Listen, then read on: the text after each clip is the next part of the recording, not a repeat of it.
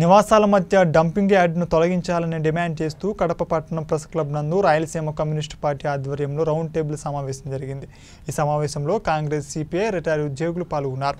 నాయకులు మాట్లాడుతూ చెత్తను వ్యర్థాలను జన నివాసాల మధ్య డంప్ చేయడం కాల్చడం ద్వారా చుట్టుప్రక్కల ప్రజలు అనారోగ్యానికి గురవుతారని జిల్లా మంత్రికి నగర మేయర్కి ప్రభుత్వ పెద్దలకి ఈ విషయంపై తెలియజెప్పినా స్పందించలేదని వారు ఆవేదన వ్యక్తం చేశారు. మున్సిపల్ కార్మికుల కాళ్ళు కడిగి ఆ నీళ్ళను తల మీద పోసుకుంటే పుణ్యం వస్తుంది పవిత్రులం అవుతామని చెప్పేసి గొప్పగా చెప్పినాడు. అందరం కూడా మున్సిపల్ కార్మికులందరూ కూడా అయ్యో మున్సిపల్ కార్మికుల ఇంత ఉదారంగా ఉన్నాడని చెప్పేసి ఆశించడం జరిగింది. కానీ ఆయన రాను రాను ఆయన నిజస్వరూపం బయటపడతా ఉన్నది.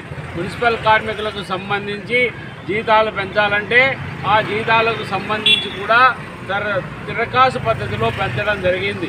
అలవెన్సుల రూపంలో పెంచుతాడట. అలవెన్సుల రూపంలో పెంచడం వలన ఏమాత్రం ప్రయోజనం లేదు.